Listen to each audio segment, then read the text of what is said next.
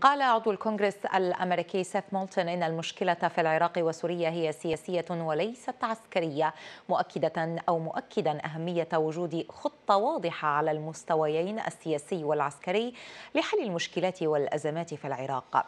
وقدم سيث مولتون أربعة مقترحات لتكون أساسا لخطة مستقبلية تساعد على استقرار الأوضاع في العراق ولهزيمة تنظيم داعش.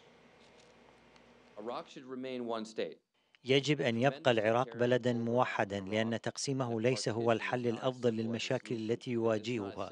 وأنا أفضل أن أرى العراقيين مجتمعين على طاولة واحدة ليناقشوا توزيع واردات النفط داخل قبة البرلمان على أن أراهم يتقاتلون ويختلفون على تقسيم الحدود بين مناطقهم.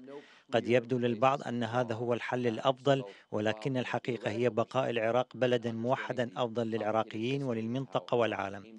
وفي نهاية المطاف هدفنا هو المساعدة على تهيئة بيئة لعراق يتمتع بالسيادة والاستقلال يضم كل مكونات الشعب العراقي ودولة حليفة للولايات المتحدة الأمريكية وقادرة على حفظ أمنها ضد التهديدات الخارجية والداخلية.